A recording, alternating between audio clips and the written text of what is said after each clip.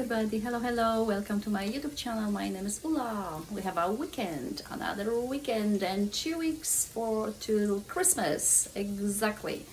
And today's Friday, I just came home, there's a little noise behind me, I'm making my uh, favorite fish, uh, wild char, so it's a little noisy, and but today I'm going to decorate my Christmas tree, yes. I decided to do it today.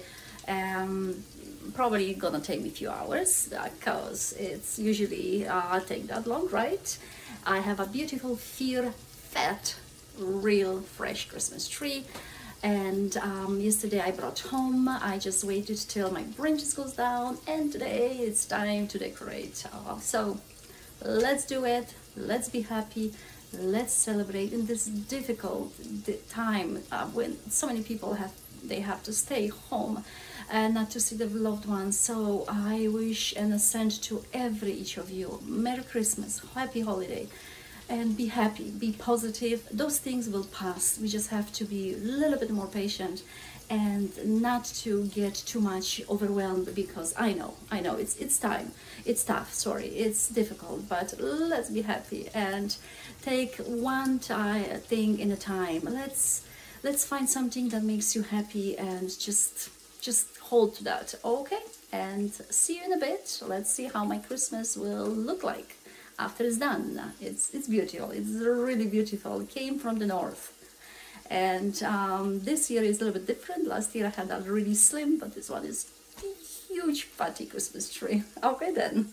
Here is my fat fir christmas tree. It's not that tall but it's really it's white so i call that fatty came from north. It has a beautiful long needle and very soft. You know it's this type of um, tree. The fir is very good because it um, stays really long. You know what? The, the needles they don't fall that easily. And um, it's time to make that tree beautiful. I just i love it I thought first it's too wide, but I think it's going to be different this year. So let's do it. Everything is just like bold at the time, at the moment, but um, it will look nice. I know it.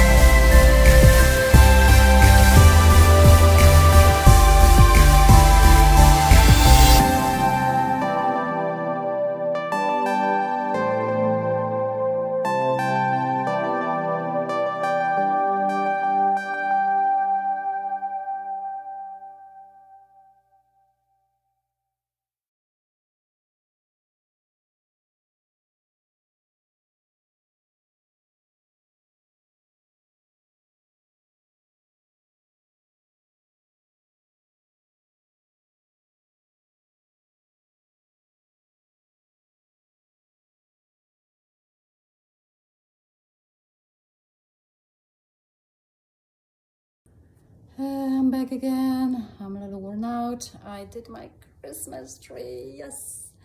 Yes, I put it up. My daughter helped me and it looks beautiful. I uh, made some pictures, so I'm gonna share that with you.